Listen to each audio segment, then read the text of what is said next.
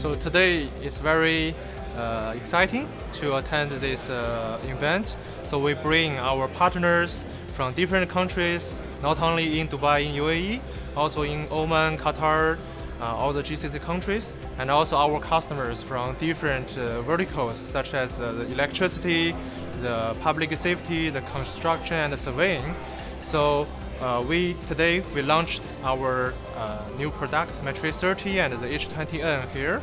So we would like to hear all the feedbacks from our partners and uh, customers, and also it's a very good opportunity to establish the community, the drone community in this region, so our customers can share their experience and their feedback and suggestions towards our products and solution, which could hugely help us to improve our product features and the workflow. Maybe in the next generation, we will uh, get your advice and put it into our products.